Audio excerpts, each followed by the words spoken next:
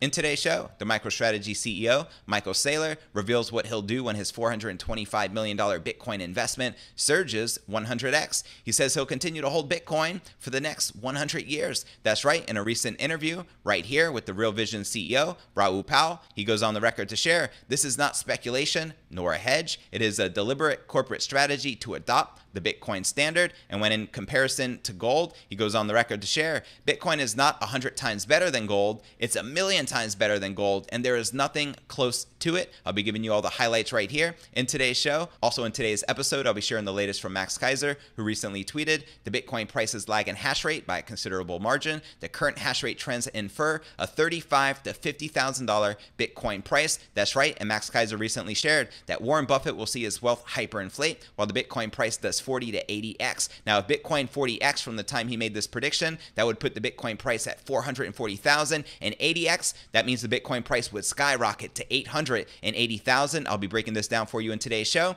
And if you're not familiar with the Keiser report, Max has been telling people to buy Bitcoin since 2011. Millions have heard that call, and they've created hundreds of thousands of Bitcoin millionaires globally. Here's the proof in the pudding. Check it out. And this is the biggest story of this decade going forward is the transition from the old way of doing business around the world to the Bitcoin way of doing business, which is purely anonymous. And this is the uh, great achievement of the global insurrection against banker occupation. Bitcoin is the currency of the resistance. Also, in today's episode, Paul Tudor Jones says Bitcoin is like investing early in Apple or Google. That's right. In a recent interview with Squawk Box, the legendary investor says, I came to the conclusion that Bitcoin was going to be the best of the inflation trades. The defensive trades, says Paul Tudor Jones. Bitcoin has a lot of characteristics of being an early investor in a tech company. It's like investing with Steve Jobs and Apple. We'll be talking about this in today's show. We'll also be taking a look at the overall crypto market. As you can see, Bitcoin is up about a half a percent. Most of the major altcoins are in the green as well. But where's the Bitcoin price likely to go from here? Find out all this, plus so much more in today's show.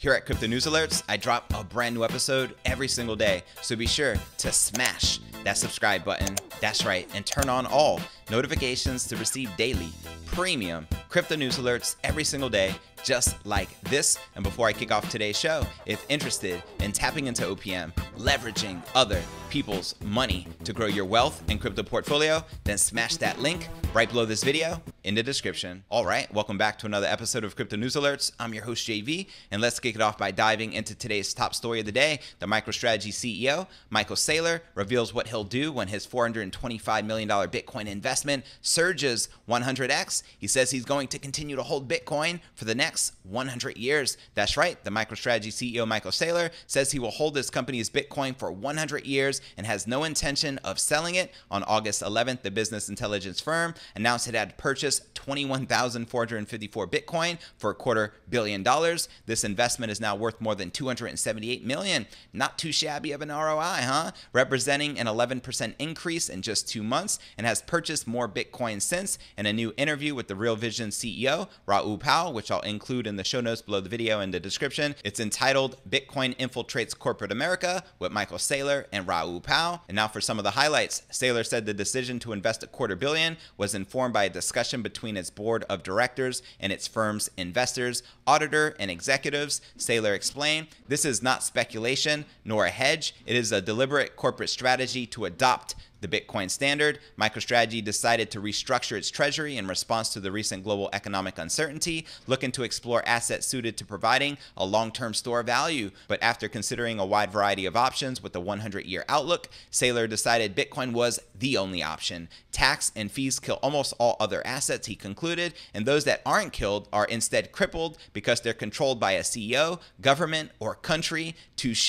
he ain't telling no lies. Bitcoin, on the other hand, is evolving, and over time, time it gets harder, stronger, and faster, Saylor concluded, describing Bitcoin as a hive of cybernetic hornets protected by a wall of encrypted energy. I like that. When looking at Ethereum as an alternative to Bitcoin, he told Raoul Pal it didn't compare as they're still chasing after functionality. He explained that it still has to be proven, adding they are centralized competitors to it and they are talking about Ethereum, not done with the functional architecture yet. The fact that Bitcoin is so big compared with all the other cryptos is the market screaming to you, there is a winner, and it's eating the world. Saylor asserted Bitcoin is the world's best collateral and doesn't even compare to gold or any other commodities. He told Raoul Pal that if you hold 100 million in cash over 100 years, you will lose 99% of it, and if you held gold, you will still lose 85% at best. Saylor described Bitcoin as performing similar monetary utilities as gold, only better and without fear of dilution, likening Bitcoin to gold as what steel is to bricks. He goes on to share Bitcoin, if not a 100 times better than gold, it is a million times better than gold, and there is nothing close to it. Let me know if you agree or disagree with Michael Saylor. I agree, as Bitcoin has a finite limited supply, market cap of 21 million. What's the supply cap of gold? Nobody knows. It's a mystery. They can continue to find more and more, and you have to trust a central third party, in which, with Bitcoin, we only have to trust mathematics. We don't need to trust governments. We don't need to trust CEOs or any centralized authority. And with Bitcoin, Saylor argued, anybody can inspect the fact that I own the Bitcoin in one second, and yet it can be sent anywhere in the world for five bucks. He added that he could liquidate 100 million Bitcoin on a Saturday afternoon. Saylor told Pal that many people believe he has weak hands, saying, Yeah, Saylor is going to buy it it and then he's going to dump it. He's going to buy it and then buy another company with it. He's going to buy it until he gets this profit and do whatever. But in reality, he isn't going to sell it, explaining that he is in it for the long haul. That's right. He went on the record to share. They don't understand the mindset of long. I'm buying it for the dude that's going to work for the dude that's going to get hired by the guy who takes over my job in 100 years. Saylor finished the two hour long interview by noting that his executives are closely watching developers in the crypto space. My whole board is listening to what you guys are saying Once again, I'll include this entire interview in the show notes below the video. All right, and before I get to Max Keiser's bullish price predictions and his most recent tweets, first, let's take a look at the overall crypto market. We can see Bitcoin barely in the green, up about 0.43%, now trading at $12,872. We have Ethereum up 1%, trading at 416 bucks. We have Link up 5%, trading just above $12. XRP in the red, down 1.3%, trading at 25.7 cents. We have Miss Light Litecoin up 0.3%, trading just above $55. Cardano barely up, trading just above 11 cents. We had BNB barely in the green, trading at about $31. So as you can see, most of the crypto market is currently bullish. And I recently asked this poll on crypto Twitter, when will Bitcoin smash? $14,000 and 44.4% of you put by this weekend, 28.9% said by the end of the month, 11% in November, and 15% in December. Now, I hope the majority of you are right and we actually crush that 14K critical resistance this weekend. I feel once we do, it's not going to be long before we climb to an all time high and Bitcoin reclaims price discovery mode. And from there, there's no telling how high the Bitcoin price can surge. All right, now let's check out Max Keiser's bullish price prediction. He says the Bitcoin price is lagging hash rate by a considerable margin. Current hash rate trends infer a 35 to $50,000 Bitcoin price. That's right. Let me know if you agree or disagree with Max Keiser. He says the Bitcoin price always follows the hash rate and right now the current hash rate trends infer a 35 to 50,000 dollar Bitcoin price. And earlier this week he said that Warren Buffett will see his wealth hyperinflate while the Bitcoin price does 40 to 80x and 40x from the time he made this prediction back when Bitcoin was trading at about 11,500 so let's just say 11,000 for the sake of easy round numbers. That would put the Bitcoin price at 440,000 and if Bitcoin skyrockets 80x as he predicts. That would put the Bitcoin price at about $880,000. Let me know if you agree or disagree with Max Keiser's bullish price predictions. Now, when it comes to track records, you can't deny the fact that Max Keiser has been well ahead of the curve. He's been telling people to buy Bitcoin via the Keiser report since 2011. Check this out Bitcoin Top 100 Rich List from 3rd of June 2011. Here's a little video I made of the top 100. As you can see, it's uh, they're all anonymous. This is fantastic. This is the new Forbes fortune list, isn't it? These are the Bitcoin fortunes. And notice, yes, all numbers. It's pure anonymous. And this is the biggest story of this decade going forward is the transition from the old way of doing business around the world to the Bitcoin way of doing business, which is purely anonymous. And this is the uh, great achievement of the global insurrection against banker occupation. Bitcoin is the currency of the resistance. That's right. So massive shout out to Max Keiser and Stacy Herbert of the Keiser Report. Now Keiser says his forensic analysis of the Bitcoin market, corroborated by insiders, is indicating that futures traders are suppressing the price of Bitcoin to give institutional players a chance to load the boat. He also gave his intermediate price target of $28,000 per Bitcoin. Once the crypto reaches that level, it would be a significant game changer for people's perception of the asset. He goes on to share when this happens, we'll see something quite unexpected. The retail market for Bitcoin will dry up. The amount of Bitcoin for sale at any price will be increasingly tiny. Institutions, corporations, and governments will be buying Bitcoin directly from miners,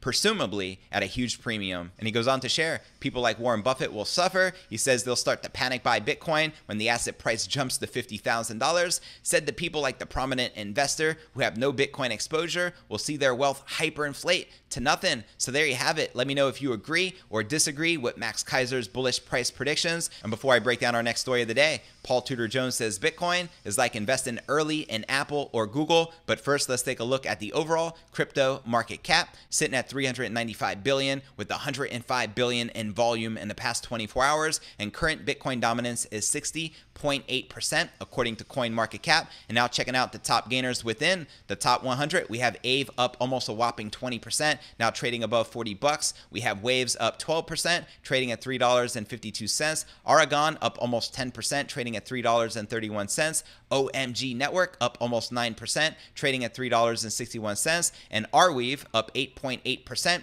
trading at $2.86. And now checking out the biggest losers within the top 100, we have Filecoin down 8%, trading at $23.60. OKB down 5%, trading at $4.64. Ocean Protocol down 4%, trading at 34 cents. Decred down 3%, trading at $12.86. And Ampleforth down 3.8%, trading at $1.04. Now, out of this list of the biggest gainers and losers, which altcoins in particular are you most bullish on? Drop me a comment right down below. And now, checking out the BitMEX margins, we can see the bulls are back in control, leading with about 17 million in superiority in the last 24 hours, with longs leading 50.6% versus 49.3% shorts. Are you currently bullish or bearish on the king of all crypto? Holla at your boy. And now checking out one of my favorite indicators is the crypto greed and fear index. Shows we're currently rated a 74 in greed. Yesterday was a 73 greed. Last week a 52 neutral, and last month a 43 in fear. And if you're not familiar with the crypto greed and fear index, extreme fear can be a sign investors are too worried. That can be a great buying opportunity, aka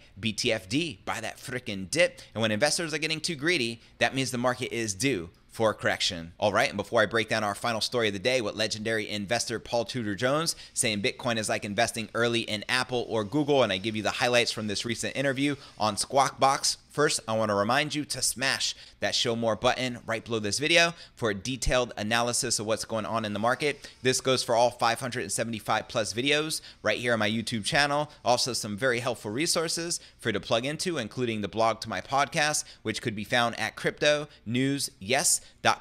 Also, be sure to smash that subscribe button right below this video to help support the channel. If you're listening or tuning in on a different platform outside of YouTube, the direct YouTube link is cryptonewsalerts.net. You can also find us on all the major podcasting platforms from Spotify, the home of the Joe Rogan experience, to Apple's iTunes. You'll find the link in the description below. You can also follow us on Twitter to receive daily crypto news alerts. My Twitter handle is crypto news yes. Also have a private crypto Facebook group entitled Crypto Alchemy Alchemy. To join it, click this link, request to join, and I'll be sure to plug you in. And for those of you active on Telegram, as I am, I do have a private crypto Telegram chat. To join it, click this link. You'll automatically be added, and I'm looking forward to connecting with you personally on the inside. All right, now let's break down our final story of the day. Famed Wall Street investor and billionaire Paul Tudor Jones said that he likes Bitcoin even more than I did then, referring to his initial investment announced in May of 2020. And if you missed the memo, he invested about 2% of his overall investment portfolio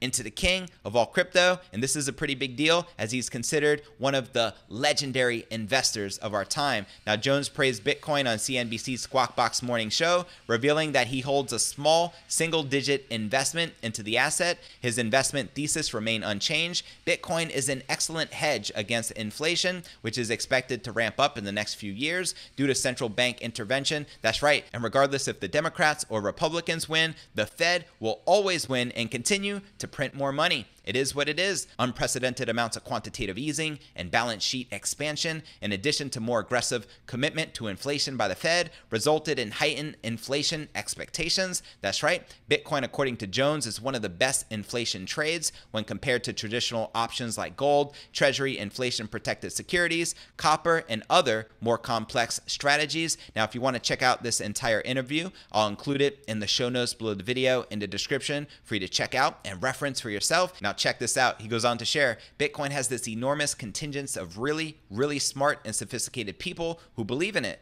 Jones added, It's like investing with Steve Jobs in Apple or investing in Google early. Now, that's very powerful words coming from the legendary investor. Paul Tudor Jones is an industry veteran, first rising to fame for correctly predicting the 1987 stock market crash, known as Black Monday. Following his early statements, the Bitcoin community buzzed with excitement due to the endorsement. Some predicted that Jones would soon become the largest Bitcoin holder. That's right. What if he stepped up his Bitcoin allocation from 2% to 10% or 50% or 85% as MicroStrategy did. For example, check out this tweet from Max Keiser. Lots of buy stops at 13,000. There is nothing but air between 13K and 19K. Paul Tudor Jones, put up or shut up, bro. So there you have it. And less than 24 hours later, Paul Tudor Jones is on Squawk Box talking about how he loves the king of all crypto. So thank you, Max. And some see Jones' endorsement as a potential icebreaker for more institutional investors who may feel more confident investing in the asset class after familiar names have already made the leap. That's right, and we're witnessing it right now. And now for a quick recap of what I covered with you here in today's show.